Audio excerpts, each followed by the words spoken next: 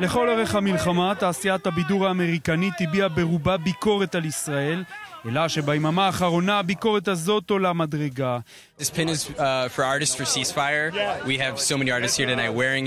שורה ארוכה של ידוענים מהמוכרים והמצליחים ביותר בעולם חתמו על עצומה של ארגון בשם Artist for Ceasefire, אומנים למען הפסקת אש, בקריאה לנשיא ביידן לעצור את אספקת הנשק הבלתי חוקי לישראל, כך כהגדרתם.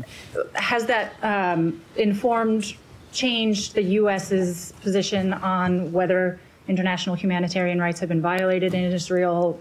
Is the U.S. rethinking any of its arms exports? No, this is a decision that the United Kingdom made based on its assessment under its own laws. Um, we have our assessments that are ongoing when it comes to looking at possible violations of international humanitarian law, and those continue to be ongoing. בין השמות הבולטים ג'ניפר לופז והגרוש לעתיד בן אפלק, דרייק, ברדלי קופר. And so when we stand up, when my people, when you stand up, and you are fighting for other marginalized groups, when you are fighting to protect the babies and the innocent lives in Gaza, וגם מריאנה גרנדה, סלינה גומז, דואליפה וכמובן הדוגמניות האחיות בלה וג'יג'י חדיד ממוצא פלסטיני, לצד רבים ורבות נוספים.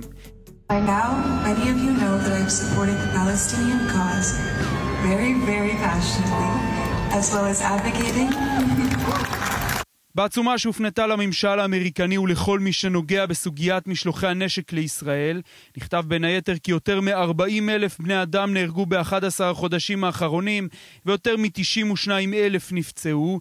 אלה מספרים שכל אדם שיש לו מצפון יודע שהם קטסטרופליים, כך נכתב בעצומה.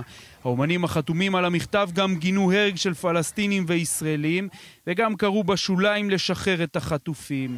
עוד נכתב כי מאז השבעה באוקטובר הומטרו על עזה יותר מ-70 אלף טונות של פצצות וטילים.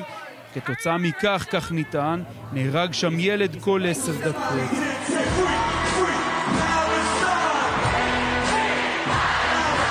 זה קורה כשגם כך דעת הקהל הבינלאומית הולכת ונעשית ביקורתית יותר ויותר כלפי המלחמה בעזה. עצומה כזאת מן הסתם תגביר גם את התמיכה בדעת הקהל לרעיון של עיכוב או עצירת חימושים לישראל, וגם תגביר את הלחץ על הממשל האמריקני בנושא.